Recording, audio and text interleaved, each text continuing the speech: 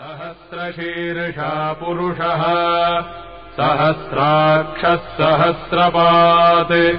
स भूमिम् विश्वतो वृत्वा ॐ सदाशिवसमारम्भाम् शङ्कराचार्यमध्यमाम् अस्मदाचार्यपर्यन्ताम् वंदे गुरुपरम्पराम्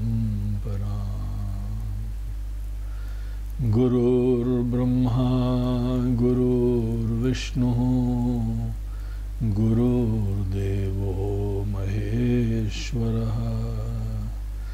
गुरुसाक्षात् परब्रह्म तस्मै श्रीगुरवे।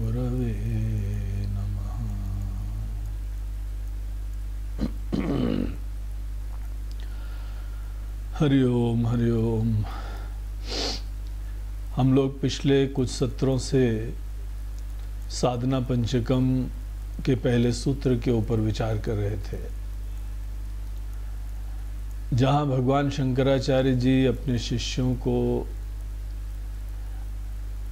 पूरी आध्यात्मिक यात्रा का एक मार्गनिर्देशन प्रदान करते हुए कहते हैं कि जो अल्टीमेट ज्ञान की राशि होती है, जो वेदों में प्रदान करी गई है, हमारा बहुत ही आत्मीयता, बड़े प्रेम, पूर्ण निश्चय के साथ आप सबको ये सलाह है कि वेदों को ही अपने जीवन का आधार बनाइए।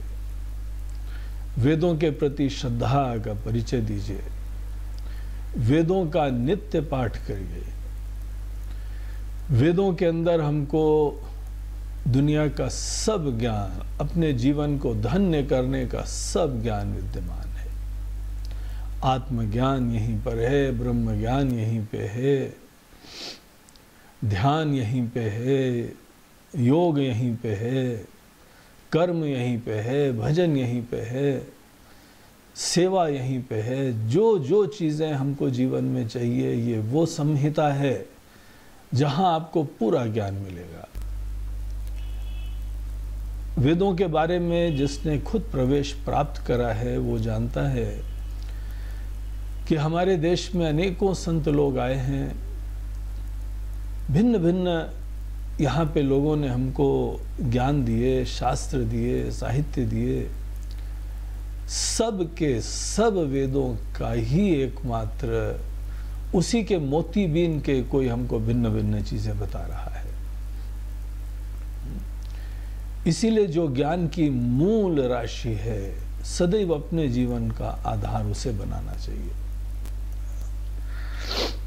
तो ये चीज़ यहाँ दिखाने के उपरांत आचार्य बोलते हैं, जब आप वेदों का पाठ करेंगे, वेदों का ज्ञान प्राप्त करेंगे, शुरुआत में तो जो जीवन का ज्ञान है, वेदों का ज्ञान है, वो यहाँ पे हमको ईश्वर के अस्तित्व का परिचय दिलाता है। एक ऐसी सत्ता का परिचय दिलाता है जो हमारी आँखों से दिख नहीं रहा है, लेकिन विद्यमान है। और वही सत्य है। जो हमारी आँखें नहीं देखती हैं, वही सत्य है। जो आँखें देखती हैं, वो तो देखते देखते खत्म हो जाता है। इसीलिए ऐसी सत्ता का हमको परिचय दिलाते हैं, वही जगदीश्वर है, वही यहाँ पे हमारे भगवान हैं। उनको जीवन में स्वीकार करके, उनसे अपने हृदय के तार जोड़ के, फिर हम जो है एक व्यापक जीवन प्रारंभ करते हैं। जो व्यक्ति ईश्वर को अपने जीवन में नहीं स्वीकारता है, वो सब बोझा अपने ऊपर ले लेता है। यद्यपि कोई आदमी बहुत ही स्वावलंबी हो तो मेहनती हो जाएगा, कर्मठ होएगा वो।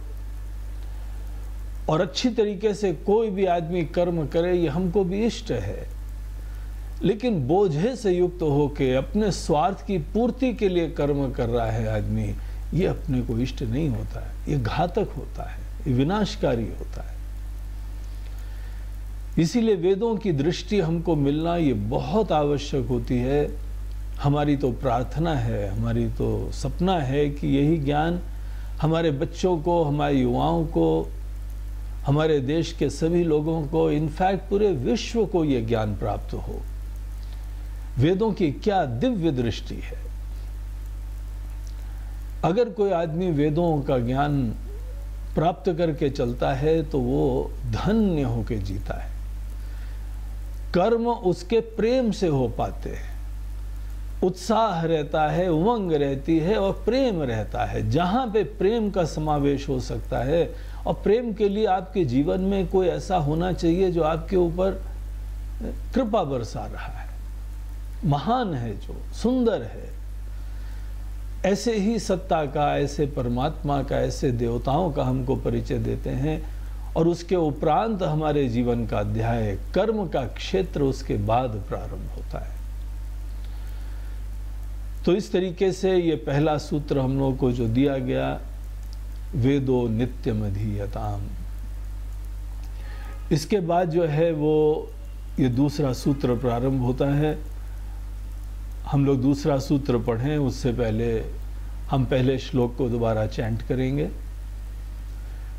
आप लोग सुनिएगा और जिसके पास किताब हो, आप पढ़िए भी।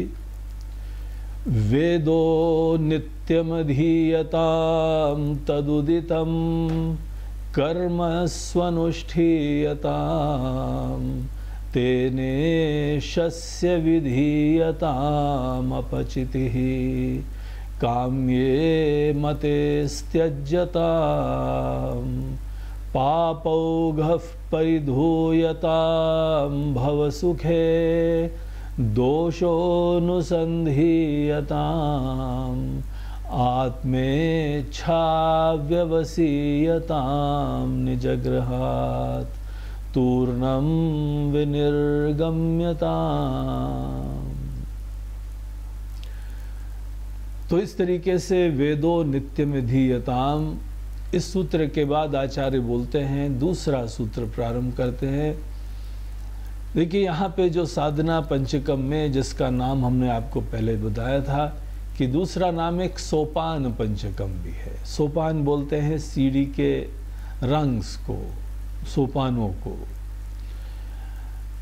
सोपान इसलिए बोलते हैं क्योंकि एक स्टेप हमको दूसरे के लिए तैयार करता है, दूसरे के लिए लीड करता है, दूसरे कदम के लिए हमको तैयार कर देता है। जो आदमी वेदों का ज्ञान प्राप्त करता है, उसके बाद उसके जीवन में कर्म के लिए प्रेरणा दी जाती है। इसीलिए हम लोगों की वर्णाश्रम की व्यवस्था भी यही है कि पहले गुरुकुल में जाते हैं, उसके उपरांत घर गृहस्थी, अनेकों जिम्मेदारियाँ, कर्म, ये सब चीज़ें बाद में आदमी को लेनी चाहिए। हमको जीवन क्या है, जिस दुनिया में आए हैं, हम कौन हैं, ये सब चीज़ों का निश्चित रूप से हमको एक प्रामाणिक ज्ञान होना चाहिए। परम तत्व के ज्ञान की यहाँ बात नहीं है, लेकिन एक व्यवस्था। इस सब चीज़ का हमको ज्ञान होना चाहिए। तो ये चीज़ हम लोगों को वेदों के ज्ञान से प्राप्त हुई। अपने गुरु के पास गए, पाठ करा, उसका अर्थ समझा। उसके उपरांत तद उदितम, कर्म स्वनुष्ठीयताम। तद उदितम उसमें कहे गए कर्म। स्वनुष्ठीयताम सुष्टु अनुष्ठीयताम, बहुत अच्छी तरीके से उसका अनुष्ठान करिए। तो यहाँ पर हम लोग को यह भी सूत्र बड़ा महत्वपूर्ण है एक एक शब्द के ऊपर यहाँ पे विचारणीय है। पहली चीज़ तो हम लोग यहाँ पे ये देखें तद उदितम कर्म। जो कर्म हमको वेदों में बताए हुए हैं उनके ऊपर ही ध्यान देना चाहिए। यहाँ देखा देखी में दुनिया ये कर रही है, दुनिया वो कर रही है और ये प्रकार से इस तरीके से देखने के द्वारा आदमी को कर्म नहीं करने चाहिए। जैसे हम देखा देखी में कोई दवाइयाँ नहीं खाते हैं, देखा देखी में हम किसी प्रकार से जो है वह किसी काम धंधे में नहीं लग जाते हैं, जो उचित है, वही औषधि खाते हैं। उसी प्रकार से कर्म जो है, जो उचित है, वही करना चाहिए। और उचित चीज़ हमको ज्ञानवान बताते हैं, वेद बताते हैं।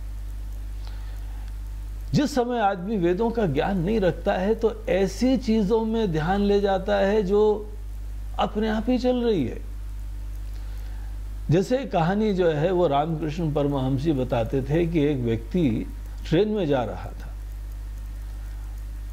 ट्रेन में जाते समय अपना लगेज ट्रेन के अंदर बैठ के भी सर के ऊपर बेचारा रखा हुआ था।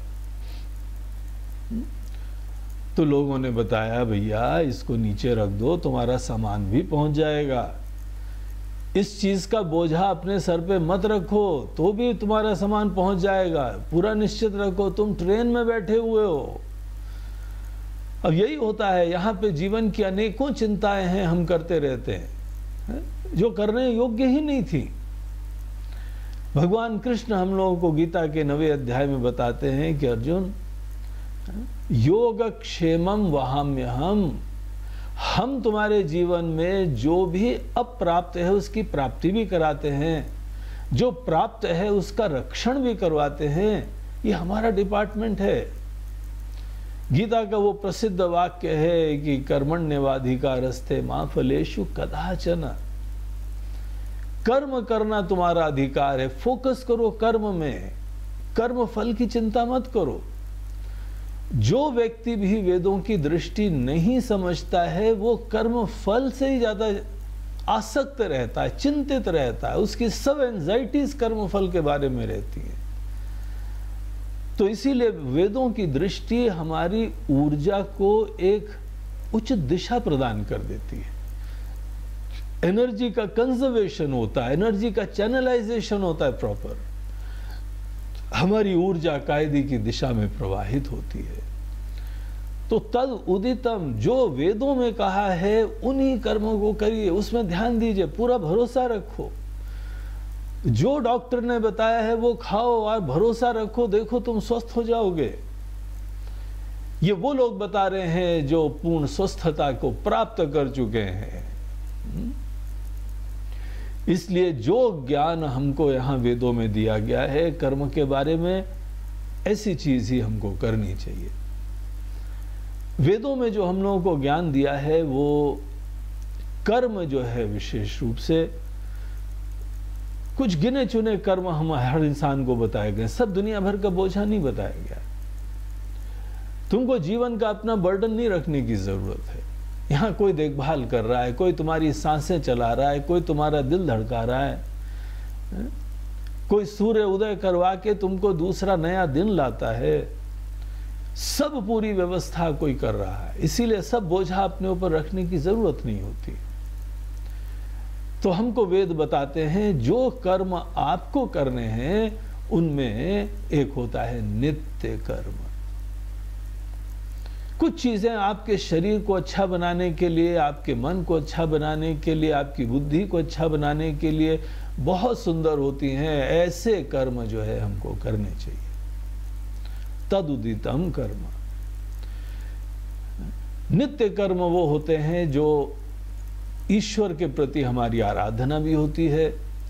नित्य हम भगवान को धन्यवाद करते हैं। भगवान को धन्यवाद करना सबसे बढ़िया पूजा होती है, सबसे बढ़िया यज्ञ होता है। ये भगवान आपका है। न मम, ये हमारा नहीं है। हम भी आपके हैं, ये जीवन आपका है, ये प्रेरणा आपकी है। हमारे ऊपर तो कृपा बरस रही है। राम रस बरसे। तो ये राम जी का रस बरस रहा है। ये ध्यान रख के सदैव राम जी का स्मरण बनाए रखो। जैसे आदमी जिस समय गंगा जी में नहाने के लिए उतरता है तो चेन पकड़ लेता है। एक स्थायी चीज़ पकड़ लेता है। उसी प्रकार से ये दुनिया में जाना है, यहाँ सतत परिवर्तन हो रहा है। अनेकों विचार, अनेकों प्रकार की यहाँ प्रेरणाएँ, अनेकों कामनाएँ सतत प्राप्त होंगी। एक स्थायी सूत्र को पकड़े रहो। नित्य कर्म हम डेली भगवान का भजन पूजन करते डेली भोजन करना, डेली जो है स्नान ध्यान करना, डेली शौच जाना, ये नित्य कर्म होते वेदों के काल में जो है, वह नित्य एक छोटा सा यज्ञ होता था, जिसको अग्निहोत्र कर्म बोलते थे। हर घर में अग्नि होना आवश्यक होती थी। उस समय बिजली का जमाना भी नहीं था। इसीलिए उन्होंने अपनी पूजा उपासना अग्नि से जोड़ रखी थी। अग्नि हमारे घर के लिए औष भोजन के लिए, प्रकाश के लिए, ऊर्जा के लिए, हर दृष्टिकोण से अग्नि आवश्यक थी। तो वही अग्नि हमारी पूजा के लिए, यज्ञ के लिए हुआ करती थी। उसमें मात्र हमको जो है स्नान ध्यान से मुक्त होके भगवान को समर्पित करना है, उनको आहुति देनी है। यज्ञ भाव इतना महत्वपूर्ण है कि ये वेदों का एक बहुत अपूर्व संदेश है मनुष्य मात्र को। तो तद उदितम कर्म, जो हमको वेद ने बताए हैं, उन कर्मों का आश्रय लीजिए। यज्ञ जो है, वह शब्द धीमे धीमे जो है, एक रिचुअल बन गया, एक कर्मकांड बन गया। और यहाँ पर वेद, व्यास जी महाराज गीता के अंतर्गत यज्ञ शब्द की हमको एक अद्भुत व्याख्या दे के आँख खोल देते हैं, झकझोर देते हैं हमको। वहाँ बताते हैं कि जिसको यज्ञ बोलते हैं, वो तुम अपने कर्म को यज्ञ बना सकते हो। यद करोश यद अश्नासी, यद जुहोश ददासी, यद यद तपस्यसी कौनते तत्कुरुष्व मदर्पणम। उसके अंदर यह प्रधान नहीं है कि अग्नि देवता को हमने घी डाला, लेकिन हम किसी महान को दे रहे हैं। यज्ञ भाव की ये मूल स्पिरिट होती है कि हम ईश्वर की खुशी के लिए जी रहे हैं। तो हम यहाँ पे कोई एक कर्म जो है हमारे देवता को पसंद है, उसको हम जीवन में सदैव जुड़े रहते हैं और वहाँ तक खत्म नहीं होता है यज्ञ। हम यही प्रार्थना करते हैं कि ये हमारे दिन भर समस्त कर्मों में यज्ञ भाव बना रहे। ये विशेष कर्म होते हैं। तो हमको अपनी चिंता है, अपना जो है कमाई करनी है, अपने जो है बैंक बैलेंस ठीक करना है। बोलते हैं, जिस समय आदमी इस प्रकार के कर्म करता है तो वो विनाश की गर्त में चला जाता है। उसके ऊपर बोझ आ जाता है। ये जो सोच है कि हमको अपना जीवन, अपने आप ही कार्य करना है, यहाँ कोई नहीं है हमारा, ये सोच ही मनुष्य को संसारी बना देती है। जिस वक्त आदमी के अंदर ऐसी स्वार्थ, प्रेरित, अपने आप को पूर्ण करने की सोच होती है, वही सबसे पहला कदम, घातक कदम होता है। इसीलिए बताया, पहले वेदों को पढ़ो, फिर जाके कर्म के क्षेत्र में जाना। जिस आदमी को वेदों का ज्ञान नहीं है, वो साधना भी करेगा, भजन भी करेगा, उसके ऊपर ही बर्डन रहेगा, हमको मोक्ष प्राप्त करना है। ये सब चीज़ें अब हमको ये अनुभव करना है, अब हमको वो फलाना चीज़ करनी है, हमको हमको हमको। हम बड़े अकेले हैं। कोई नहीं है यहाँ पे हमारे लिए। इसीलिए कोई भी कार्य करने से पहले इस दृष्टि का समावेश करो, ये क्रांतिकारी दृष्टि है। धन्य समझो अपने आप को। हम लोगों के वहाँ हिंदुओं में ये जनेऊ की जो परंपरा है ये जनेऊ की परंपरा, इसके तीन धागे हमको दिखाते हैं कि हम, हमारे ऊपर कैसी कृपाएँ बरस रही हैं। धन्य हो जाते हैं। पहला धागा हमारे पितृ का ऋण है, दूसरा जो है ऋषियों का ऋण है, तीसरा देवताओं का ऋण है हमारे ऊपर। ऋण है अर्थात उनकी इतनी कृपा बरस रही है कि हम अपने आप को ऋणी महसूस करते हैं। आई एम इनडेटेड ऐसी ब्लेसिंग्स जो है, वह शावर हो रही हमारे ऊपर। ये शब्द नहीं होने चाहिए, ये हमारी अनुभूति होनी चाहिए। यहीं पर हमारा ज्ञान आता है, यहीं पे जो है सत्संग आता है, यहीं बड़े बुज़ुर्गों के साथ का प्रसाद मिलता है। कि आदमी उठे और उठते उठते ही धन्यता की सांस लेता है। आई एम सो ब्लेसेड और जिस समय आदमी ऐसा धन्य होता है, उसके कर्म कैसे होंगे, ये आप अपने आप कल्पना कर सकते हैं। क्रांतिकारी भेद हो जाता है कर्मों में। कोई एंजाइटी नहीं होती। यहाँ पे हमारी देखभाल कोई और कर रहा है। हम उसकी सेवा के लिए जीवन जीते हैं। देवान भावयता ने न ते देवा भावयंतु वह परस्परम भावयंत श्रेय परम वापस्य था। भगवान बता रहे हैं कि देखो जरा आँख खोल के, तुम्हारे ऊपर कृपा की वर्षा हो रही है। तुम कॉन्शियस नहीं हो, तुमको ज्ञान नहीं है इस चीज़ का। जो जो महत्वपूर्ण चीज़ है, सब भगवान ने अपने हाथ में रखी है। तुम्हारी साँसें चल रही हैं, ये तुम्हारे हाथ में नहीं छोड़ा है। तुम्हारा हृदय धड़क रहा है, तुम्हारे हाथ में नहीं छोड़ा है। तुमको कर्म फल आ रहा है, ये तुम्हारे हाथ में नहीं छोड़ा हुआ है।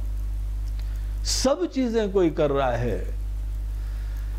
तो ये क्यों अपने ऊपर बोझा रखे हुए हो? ये सोच निराधार है।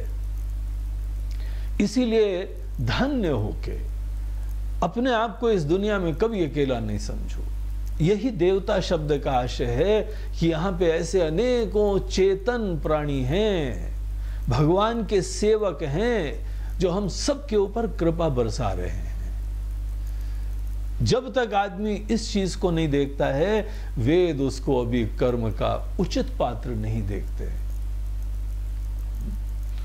जब जब इंसान अपना बोझा संकुचित दृष्टिकोण से देखते हुए जीवन को व्यतीत करता है, केवल उसको शोक मिलता आपने गीता का पहला अध्याय देखा होगा, सुना होगा। अर्जुन विषाद योग। क्या अर्जुन विषाद योग का मूल तात्पर्य है? बड़े कम लोग उस अध्याय के ऊपर गहराई से विचार करते हैं। दरअसल हम लोगों को पहले अध्याय में यह दिखाया गया है कि लड़ाई से पूर्व अर्जुन के मन के अंदर धर्म और अधर्म के विचार प्रधान रहते थे। लेकिन लड़ाई के मैदान में उसके मन के अंदर एक ऐसी विकृत दृष्टि आई जिसका परिणाम केवल भयंकर शोक और हाथ पैर ढीले हो जाना हुआ। वो लड़ाई के मैदान में यहाँ पे ये नहीं देख रहा था कि ये अधर्म के प्रतीक हैं जो भी मजबूरी रही हो, लेकिन एक ऐसे जीवन के तरीके का आश्रय लिया है जो इतना घातक है सबके लिए। पूरी संस्कृति, पूरे देश का विनाश हो जाएगा। अधर्म उस प्रकार की व्यवस्था को बोलते हैं। ऐसे जीवन जीने के तरीके को बोलते हैं। बहुत सारे मौके दिए थे सब लोगों को, लेकिन भगवान कृष्ण भी दूत बन के गए थे।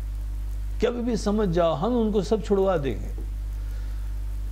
लेकिन टस से मस नहीं हो रहे ऐसे जिद पे अड़े हुए हैं। उसको सदैव ये देखना चाहिए था कि भले भीष्म पितामह हो द्रोण हो हम्म, या कोई भी रिश्ते नाते हैं सब अधर्म के प्रतीक हैं। लेकिन अर्जुन की बुद्धि ने वहाँ पे जो है पासा जैसे पलट दिया और वो ये देखने लगा कि ये हमारे चाचा हमारे मामा हमारे गुरु हमारे बाबा जी हमारे दादू हमारे रिश्ते, हम एक व्यक्ति के दृष्टिकोण से देखने लगे। इसको बोलते हैं व्यष्टि दृष्टि। दुनिया को देखते हैं अपने व्यक्तिगत दृष्टिकोण से। न कि व्यापक समष्टि दृष्टि से नहीं देखते। उचित अनुचित को नहीं देख पाते। तो जहाँ उसके अंदर ये व्यष्टि दृष्टि, व्यक्तिगत दृष्टिकोण जहाँ उत्पन्न हुआ मैं को केंद्र में रख के जहाँ उसने देखना चालू करा, उस समय अर्जुन का पतन होता है। इतना महान योद्धा था कि हाथ पैर हिलने लगे उसके।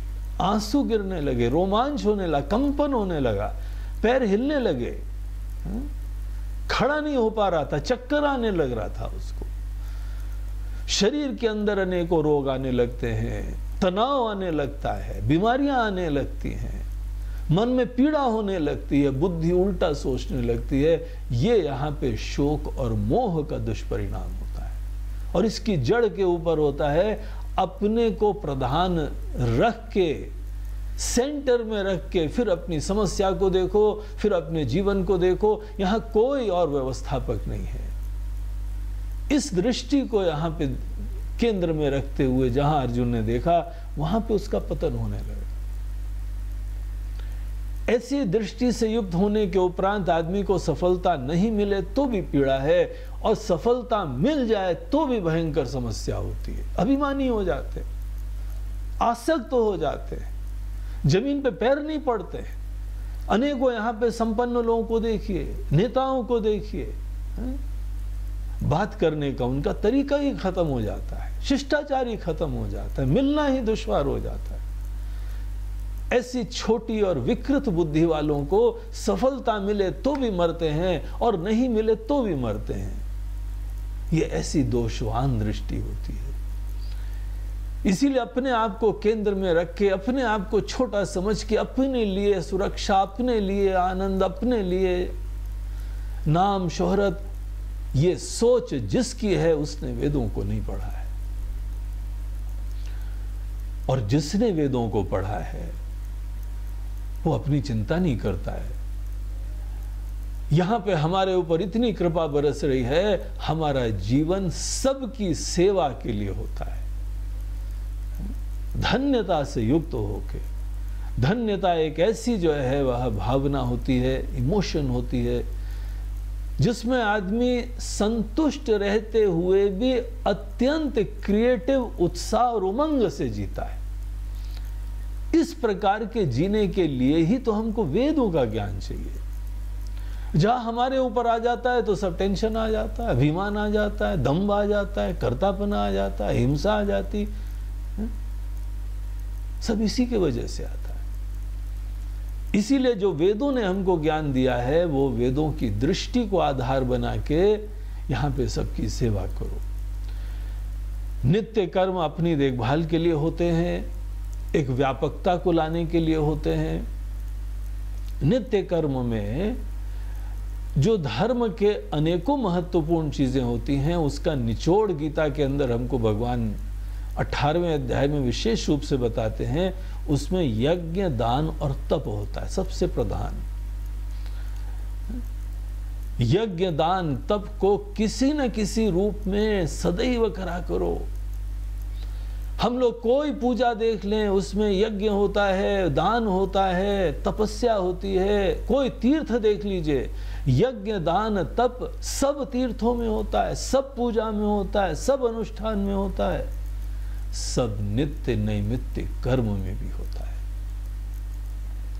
कर्ण की तो ये ख्याति थी कि जब डेली वो अपने नित्य कर्म से उठते थे तो उस समय जो कुछ भी मांग ले आके वो सब दान दे सकते थे। दानवीर कहे गए इसीलिए। डेली जो है, हम लोग तो उठ के चलो, प्रसाद बांट देते हैं।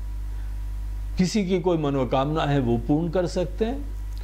लेकिन सदैव जो है, वह आदमी को यज्ञ, दान और तप का नित्य कर्म में समावेश करना चाहिए। ये सब चीज़ें बड़ी गंभीर होती हैं। यहाँ पे हम लोग एक एक चीज़ के ऊपर जाएँ तो हम लोगों को घंटे लगेंगे। लेकिन आपको संक्षेप में यह हम बताएँ कि यज्ञ भाव उसको कहते हैं, वास्तविक यज्ञ की स्पिरिट का जो इनकलकेशन होता है, वो डर से भगवान के लिए कुछ करना नहीं होता है। आज के लिए बड़ा प्रचलित हो गया है कि I am a very God fearing man बोलते हैं, ये छोड़ो अब, बहुत हो गया बचपना। बहुत डर से जीने लगे हो। गॉड फियरिंग मैन की यहाँ ज़रूरत ही नहीं क्योंकि पापी हो गया। क्यों डर के जीते हो भगवान से? कोई चोर हो तो पुलिस को देखे तो डरता रहेगा, उचित है भाई। लेकिन हमको भगवान से डरने की क्या ज़रूरत है? भगवान से तो प्रेम करना चाहिए। आदर से, श्रद्धा से, धन्यता से, सेवक की तरीके से उनके लिए अपना पूरा जीवन न्यौछावर करने योग्य होता है। ऐसे भगवान होते हैं। असली सत्संग वो होता है जब हमको ऐसे भगवान का परिचय मिले। तो इसीलिए ऐसा सत्संग करो, वेदों का ज्ञान प्राप्त करो और उसके उपरांत यज्ञ करने की स्पिरिट उत्पन्न करो। पूजा केवल एक कर्म नहीं है कि हमने सवेरे निपटा दिया। भगवान का पूजा कर लिया है अगरबत्ती जला दी है, और प्रसाद भी खाया है, ये सब कर लिया। चलो, कुछ नहीं कर रहे हैं। ऐसे लोग तो चलो, मन बहलाने को लगता है कि चलो, इतना ही ठीक है। लेकिन इससे आदमी का कोई लाभ नहीं होता है। यज्ञ भाव, पूजा भाव, उसको बोलते हैं, जब हम भगवान के लिए जीना चाहते हैं। अपने बारे में पूर्ण निश्चिंत हैं, ये जीवन ही भगवान की सेवा के लिए। हम भगवान के निमित्त हैं। अपने आप को भगवान के हाथ की बांसुरी समझिए। भगवान हमसे अपना कोई गीत गा रहे हैं, गाना चाहते हैं। इस प्रकार से अपने मन के अंदर दृष्टि उत्पन्न करिए। भगवान जो करेंगे, आपके लिए करेंगे। नमः शब्द बोलते हैं कि हम आपके प्रति पूर्ण शरणागत हैं, आपको प्रणाम करते हैं, समर्पित हैं आपके प्रति। सब कुछ है तेरा, क्या लागे मेरा? इस भावना का समावेश करे मन में। आरती में हम लोग बोलते तो हैं, लेकिन कौन कितना ध्यान देता है? एक बार हम बोल दें तो दोबारा बोलने की भी ज़रूरत ना पड़े। लेकिन क्योंकि इसका अर्थ गंभीरता से समझ नहीं रहे हैं, इसीलिए मैकेनिकली बोलते चले जाते हैं। यज्ञ भाव उसको कहते हैं, जहाँ पे आप धन्यता से किसी की बरसती हुई कृपा को देखते हुए उनके लिए कुछ करना चाहते हैं। हमारे प्रिय प्रिय लोग, स्नेही लोग, बच्चे हों, बड़े हों, जिनके प्रति आपको बहुत प्रेम है, अपनापन है कोई निमित्त हो जाए, आप उनके लिए कुछ करना चाहते हैं। हम्म? ऐसा प्रेम भगवान के साथ होना चाहिए। तब जाके पूजा का कर्म कल्याणकारी होता है। जो व्यक्ति अगर कोई भी कर्म बगैर भावना से करता है तो वो रिचुअल बन जाता है मैकेनिकल बन जाता है। अनेकों लोग हैं, उनको ये बात नहीं पता लगी तो धीमे धीमे पूजा पाठ यह कर्म कांडों से मन के अंदर से मोह खत्म हो जाता है। हमारे कई परिचय के हैं, बोलते स्वामी जी, हम पूजा पाठ नहीं करेंगे रिचुअल्स में हमको आप मत डालिए। हम बोला, चलो, हम तो नहीं डालेंगे, हम तो किसी चीज़ का नहीं डालेंगे, हमारा काम तो ज्ञान देना है। फिर आपको जो उचित लगे, आप करिएगा। लेकिन आप ये बताइए कि आपके यहाँ बच्चों का भी जन्मदिन था हर साल जन्मदिन मनाते हो हर साल केक काटते हो हर साल मिठाई खाते हो हा? ये रिचुअल नहीं हो गया है क्या? तुम्हारी जो है वह पत्नी का किसी के पति का एनिवर्सरी के समय उनकी हम हम्म, खुशियाँ मनाते हैं पार्टीज़ देते हैं नाच गाने होते हैं। ये रिचुअल नहीं है क्या? लेकिन उसको हम रिचुअल नहीं कह पाते हैं क्योंकि उसमें हमको बहुत प्रेम है। जिसके लिए कर रहे हैं, उसके प्रति बहुत प्रेम विद्यमान है। अगर वैसा ही हमारे जीवन में ईश्वर का, देवताओं का स्थान बन जाए तो कोई कर्म कांड कभी रिचुअल नहीं बनता। इतनी प्रफुल्लता, प्रसन्नता का एक विषय हो जाता है। तो यज्ञ या जिसको ही आगे चल के पूजा कहा गया, यज्ञ पूजा दोनों एक ही चीज़ है। इन एसेंस एक ही चीज़ होती है। आप नित्य पूजा करिए या नित्य यज्ञ करिए, जो भी आपको जो है उचित ज्ञान मिला हुआ है, आप उस चीज़ को धन्यता से करिए। इसको गीता के अंदर भगवान सात्विक कर्म कहते हैं। आप कोई भी कर्म करते हैं, वो पर्याप्त नहीं है। आवश्यक यह है कि आपका कर्म सात्विक है कि नहीं है? तामसी आदमी जो कर्म करता है, वो तो किसी तरह निपटा देता है। वो जल्दी जल्दी भाई गाड़ी छूट रही है और हमारी बस आ गई है और टाइम हो गया है, जल्दी से फटाफट निपटा के वो कर देते हैं। ये तामसी चीज़ है। बोझा होता है उसमें। कोई देख रहा है, इसीलिए करना पड़ता है। दिखावा आ जाता है उसमें। डर रहता है। राजसी कर्म होता है कि जहाँ पे आपको स्वार्थ की पूर्ति दिखाई पड़ती है, इसीलिए आप करते हैं।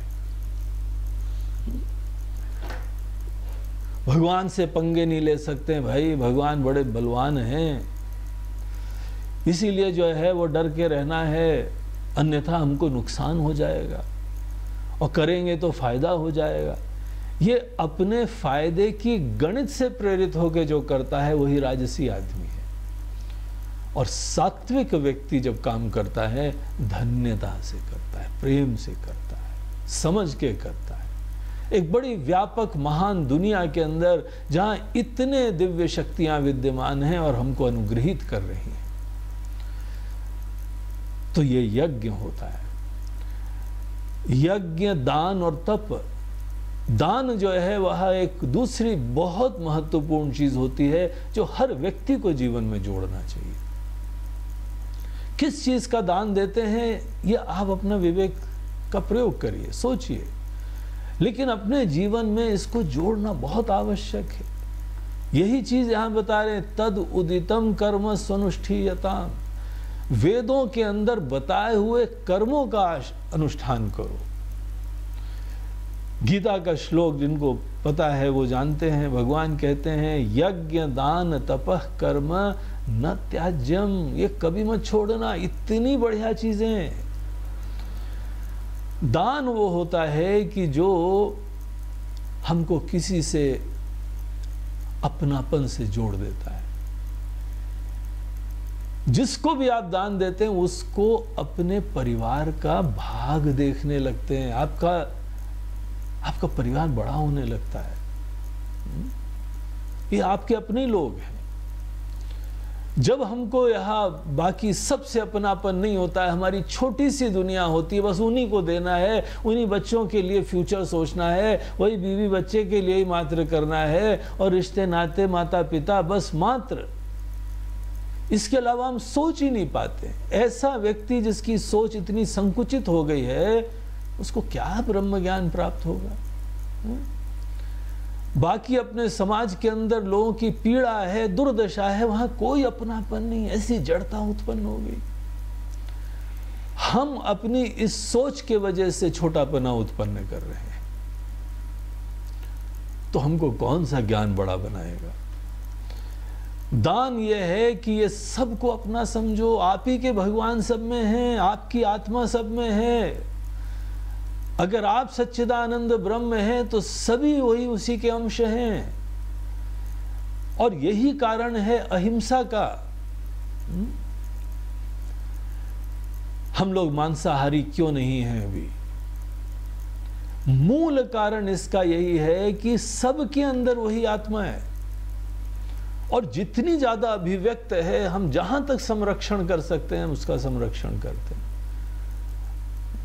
तो अगर किसी को भी पीड़ा हो तो निश्चित रूप से आप कुछ न कुछ सेवा उसकी नित्य करने की अपने जीवन में एक नियम बनाओ पशुओं को खिलाओ, पक्षियों को दाना दो, गरीबों को दो हम्म? जो भी जिसकी आवश्यकता है अगर भोजन दे सकते हो, पैसे दे सकते हो, कहीं पानी पिला सकते हो, कहीं ज्ञान दे सकते हो, कहीं पे किसी के सर के ऊपर हाथ ही फेर सकते हो। अनेकों लोग जाते हैं हॉस्पिटल्स में, जाके अनेकों लोगों की सेवा करके आते हैं। बोलते हैं, हम और कुछ करने में समर्थ नहीं, हम तो बहुत कुछ करना चाहते हैं, लेकिन इतना हम तो अवश्य कर सकते हैं। वो जाके प्रेम का दान देते हैं, सेवा का दान देते हैं। जो चीज़ भी आपके पास प्रचुर मात्रा में हो, वही दान की चीज़ होती है। दान जो है, वह किस चीज़ का देना है? उसकी बहुत चिंता मत करो। बस दिल रखो देने का। ये हम लोगों को वेदों के अंदर ऐसे कर्म बताए कभी अपने स्वार्थ की चिंता न करो, निस्वार्थ होके किसी की सेवा के लिए समर्पित हो जाओ। ऐसी यज्ञ भाव रखो। ऐसा दान भाव रखो कि आपकी दुनिया में, आपके समाज में, आपके देश में किसी के पास कोई अभाव ना हो।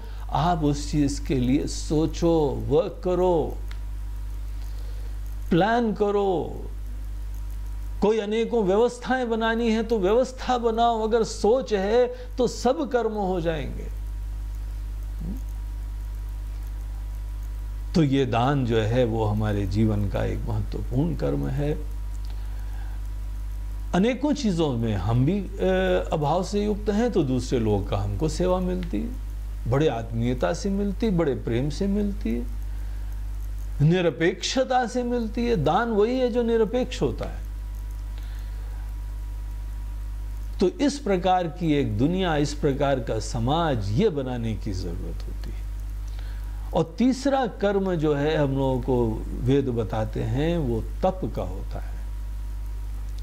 तब होता है बेसिकली अपने आवश्यकताओं को कम से कम करके जीने का सामर्थ्य। अपने शरीर को जो है सुदृढ़ बनाना है, अपने मन को बलवान बनाना है, अपनी आवश्यकताएँ कम से कम करनी है।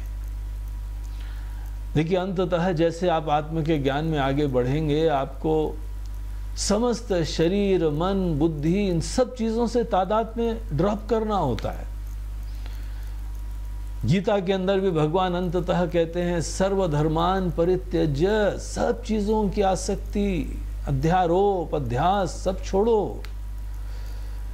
तो बाकी चीज़ों को जो है, वह हम धीमे धीमे आगे छोड़ते हैं। इस समय शरीर के इच्छा अनुरूप नहीं जीना चालू करो। शरीर एक ऐसा रथ है जो कि मन के नियंत्रण में होना चाहिए। शरीर है, हमारी इंद्रिय रूपी घोड़े हैं, ये सब जो है सारथी के हाथ में होना चाहिए। आपका शरीर स्वस्थ रहे, बलवान रहे,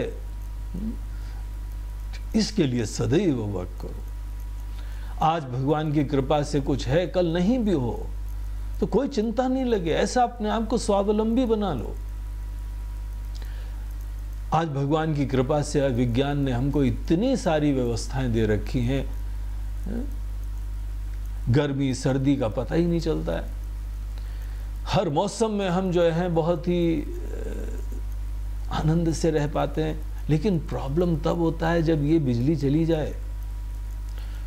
और जो बिजली बोर्ड वाले लोग भी अपना अस्तित्व दिखाते रहते हैं, बोलते हैं, देखो भाई, गई तो हमारा महत्व पता लगता है। हम कितने आश्रित हो गए अनेकों चीज़ों में आश्रित हो गए। आश्रित हम धीमे धीमे बनते जाएँ पराधीन सपने हूँ, सुख नहीं। जिसके प्रति हम पराधीन होके जिए, सेवा करो, रिश्ते रहे, उसके समस्या नहीं है, लेकिन मन ही मन पराधीन होके जी रहे हमारा शरीर कितनी चीज़ों के प्रति पराधीन होता है। पहले के जमाने में लोग तीर्थ यात्रा पे जाते थे कि जो कि बड़ी दुर्गम जगह होती थी। शरीर ऐसी विषम परिस्थितियों में जीने में समर्थ होने लगता है। हम्म? कहीं पर भी सोना, कहीं खाना, कहीं पर भी जो है स्नान करना, शौच के लिए जाना, अपने शरीर को जो है पक्का बनाना चाहिए। आप खुद अपनी तरफ़ से परीक्षा करिए कि आप कितने कम से कम में जीते हैं और स्वस्थ जीते कुछ ना कुछ आपके शरीर की देखभाल होनी चाहिए, अच्छी तरह होनी चाहिए। स्वस्थ रहो, सात्विक भोजन करो। सात्विक भोजन अपने जवान की रुचि से नहीं होता है, हमारे टेस्ट से नहीं होता है। जो उचित है, वो कार्य हम कर पाए। शरीर को संतुलित भोजन मिले बैलेंस डाइट मिले, पर्याप्त क्वांटिटी में मिले गीता के छठे अध्याय में भगवान बोलते हैं अर्जुन बहुत ज़्यादा खाओगे तो भी योग नहीं सिद्ध होएगा कम खाओगे तो भी योग, योग सिद्ध नहीं होगा। इसीलिए अपनी आवश्यकता खुद तुमको आइडेंटिफाई करनी है। हर चीज़ में कितना सोना है कितना कम सोना है हुँ? तो ये सब चीज़ें जो है आप जीवन में जोड़िए। तपस्या का जो है शरीर के दृष्टिकोण से शरीर का तप होता है, वाणी का तप होता है, मन का तप होता है, तप को अपने जीवन में जोड़ो। तो यज्ञ, दान, तप, ये जो है, हमको वेद बताते हैं, नित्य रूप से अपने जीवन में इसको जोड़े रखो।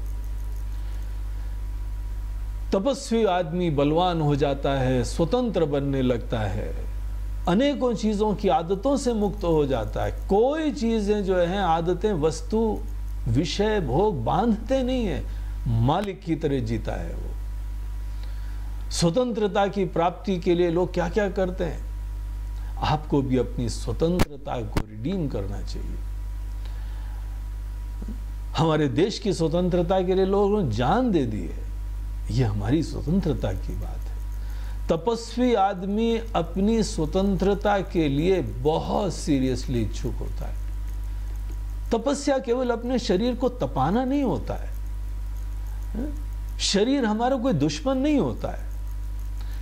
हम शरीर को जितना तपा लें, उतने ज़्यादा महान हो गए, ऐसा नहीं कहीं कहा गया है। जो लोग इस प्रकार से कर रहे हैं, वो नासमझ है, वो मूर्ख लोग हैं। हमको मात्र ये कहा जा रहा है कि बुद्धि की प्रधानता रखो। जो उचित है वो काम कर सको, जो जो अनुचित चीज़ें हैं, भले तुम्हारी जवान की हो, तुम्हारे पेट के लिए हो, तुम्हारी कोई कान की चीज़ें हो, सुनना अच्छा लगता है, ये अच्छे लगने की प्रधानता नहीं है, उचित की प्रधानता है।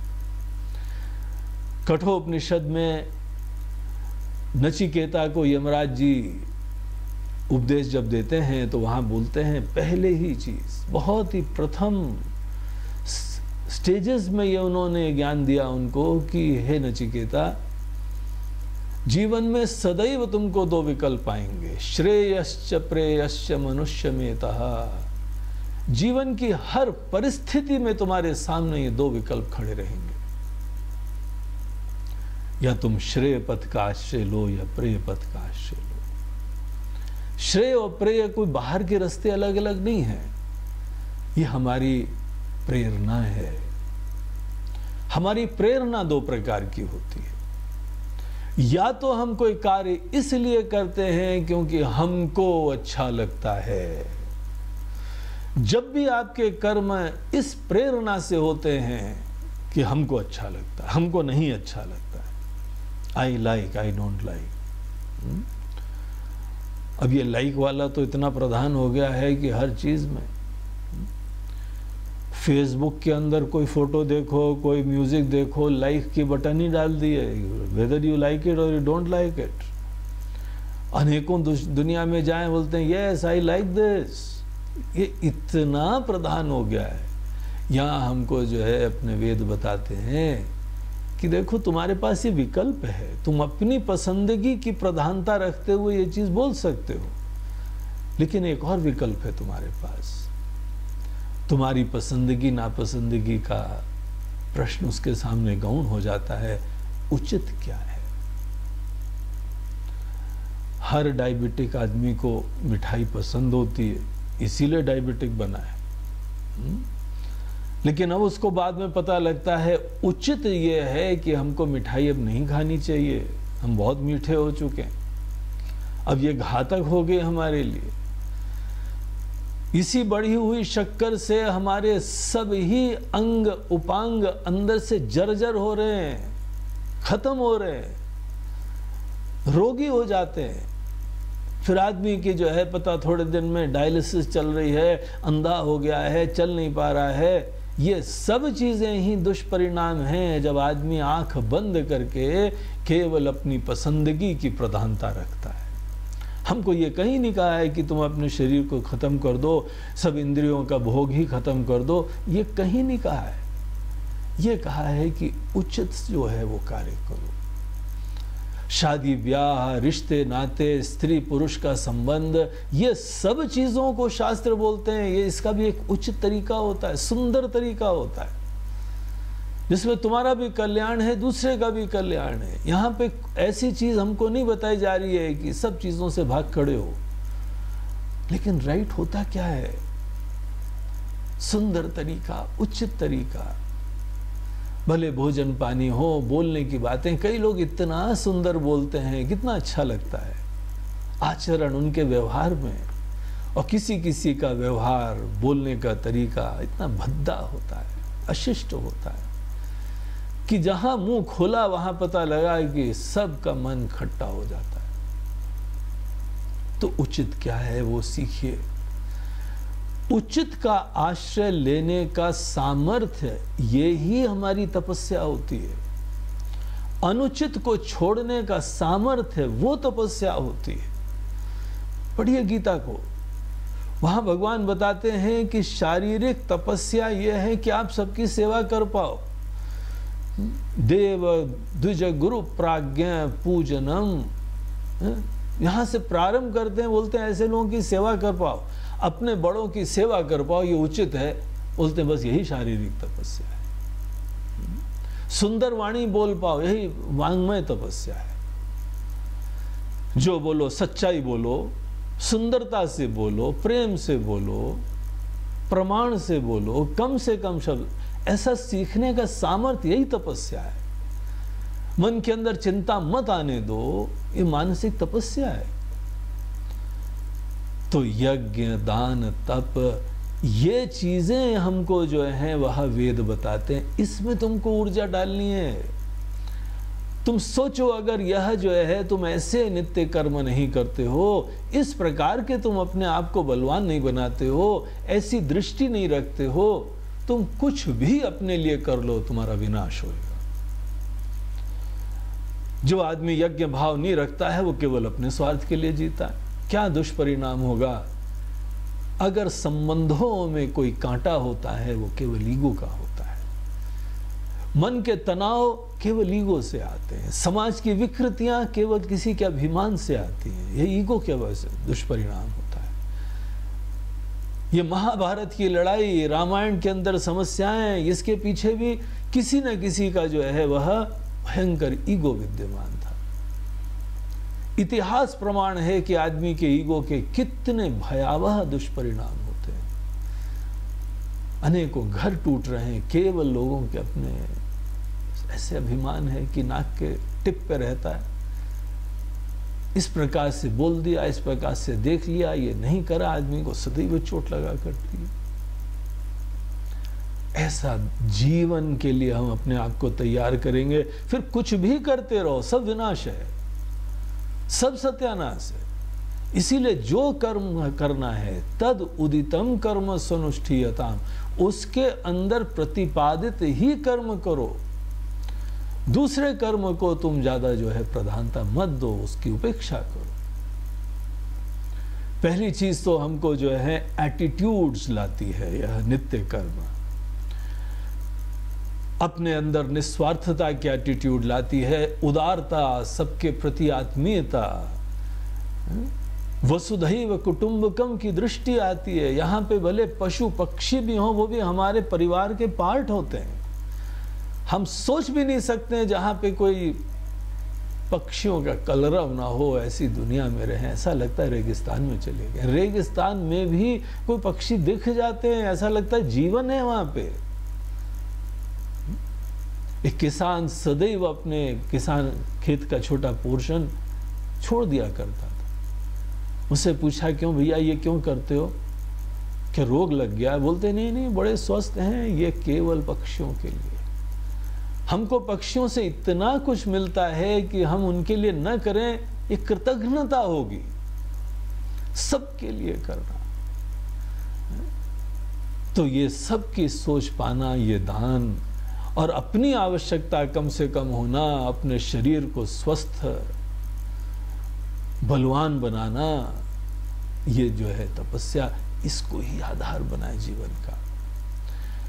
कर्म के अंतर्गत हमको ये भी चीज़ वेद बताते हैं कि आपको जो चीज़ें कर्म करनी होती हैं वो आपको कर्म अपने वर्ण और आश्रम के ही कर्तव्य होते हैं। देखिए वेदों के अंतर्गत कर्तव्य के बारे में हम्म, बड़ी फ्लेक्सिबल और बहुत ही विवेकमय दृष्टि है। वो ऐसा नहीं है कि सब इंसानों के लिए एक ही कर्तव्य होते हैं। ये कर्तव्य की इस प्रकार की अवधारणा वेदों में नहीं है। वेदों के अंतर्गत यह है कि कौन से इंसान को क्या चाहिए होता है, क्या करना चाहिए, ये अनेकों फैक्टर से चेंजिंग होता है। पहली चीज़ जो होती है कि आदमी की अवस्था क्या है, कर्तव्य के निर्धारण के लिए हमको करना क्या है उसके निर्धारण के लिए एक तो आदमी की अवस्था देखी जाती है, बच्चा है, जवान है अच्छा जो है, विकसित, प्रबुद्ध मनुष्य है, या वृद्ध हो गया है, अवस्था। और दूसरी चीज़ है उसके मन के अंतर्गत की प्रकृति। उसके अंदर ब्राह्मणत्व तो है, कि क्षत्रियत्व तो है, कि वैश्यत्व तो है, कि शूद्रत्व तो है, जो भी उसकी प्रकृति है, उसको हम समझें। और उसको कर्तव्य मात्र उसी चीज़ की प्रदान करें। तो यहाँ पर एक बड़ी डिफरेंट दृष्टि है, जैसे आजकल प्रचलित है, उससे बहुत ही भिन्न है। अभी हमने कहीं पे कार्टून देखा था, अपने एजुकेशन सिस्टम के ऊपर किसी ने कटाक्ष करा हुआ था।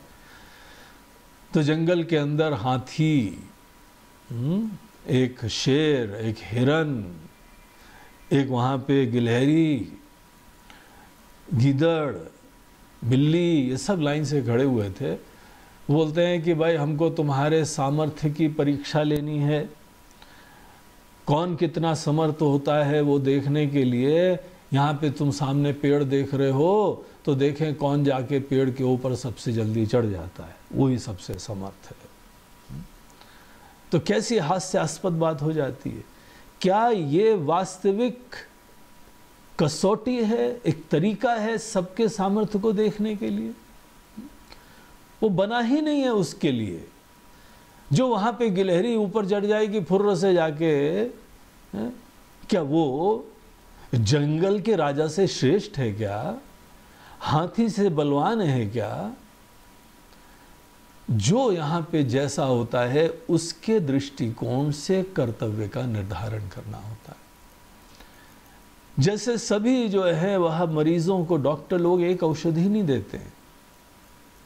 उनकी बीमारी, उनकी पात्रता, उनकी उम्र ये सब चीज़ों को ध्यान रख के जैसे उनको औषधि दी जाती है और डोज धीमे धीमे उनकी चेंज होती रहती है। उसको कम कर देते हैं। उसी प्रकार से यहाँ पर वेद हमको बताते हैं कि आपके जो कर्तव्य हैं, वो आपकी प्रकृति और अवस्था से निर्धारित होंगे। इसीलिए चेंज होते जाएँगे।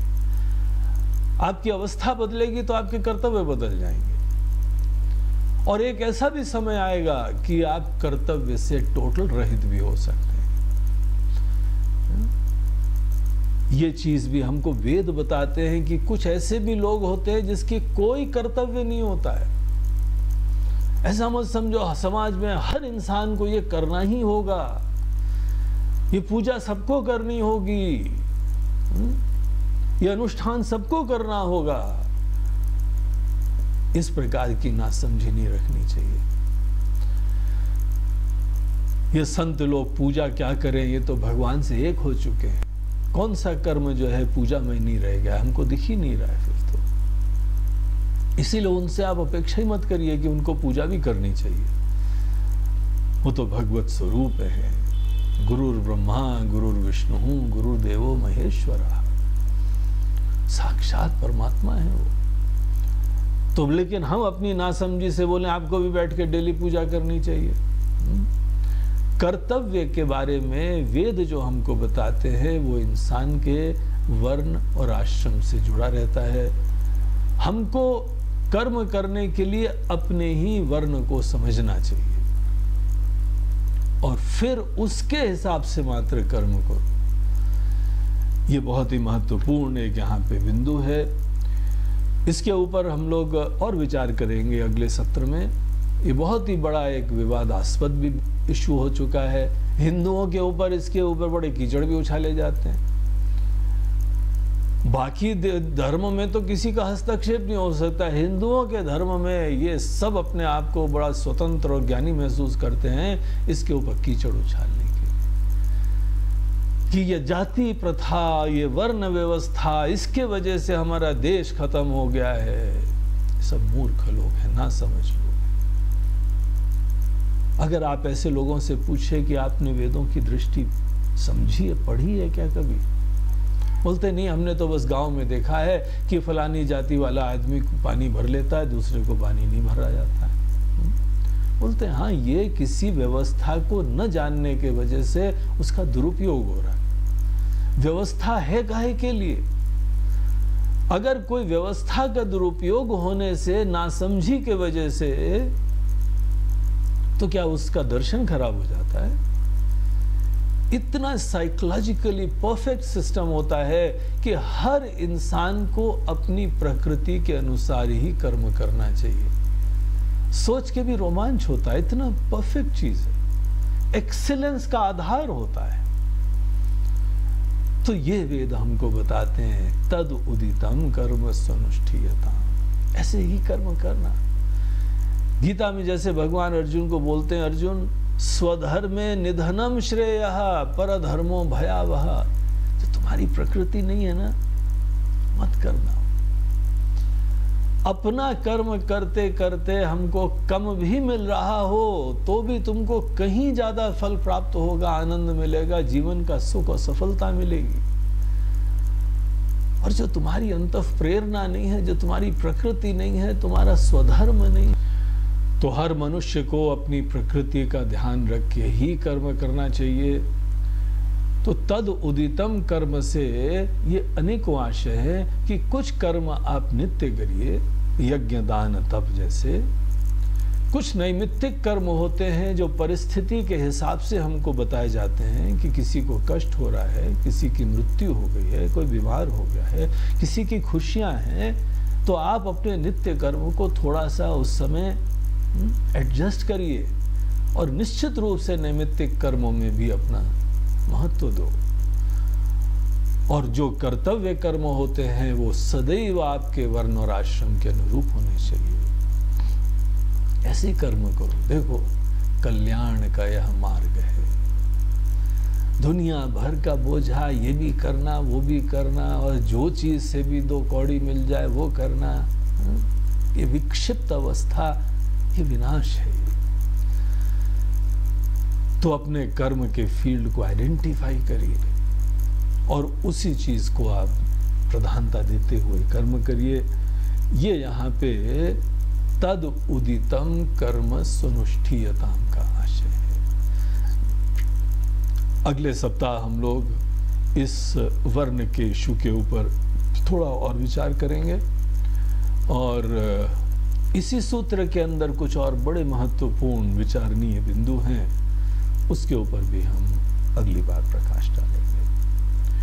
आज इसी के साथ हम ये सत्र यहाँ समाप्त करते हैं। ओम पूर्णमदः पूर्णमिदं पूर्णात् पूर्णमुदच्यते पूर्णस्य पूर्णमादाय पूर्णमेवावशिष्यते। ॐ शान्ति शान्ति शान्तिः हरिः ॐ श्रीगुरुभ्यो नमः। हरिः ॐ नमः पार्वतीपतये हर हर महादेव। नर्मदे हर